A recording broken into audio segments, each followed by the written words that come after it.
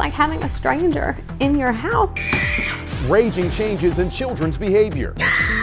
A mysterious condition affecting one out of 200 children. Defender Savannah Levins witnesses firsthand the unsettling reality of PAN tonight at 11.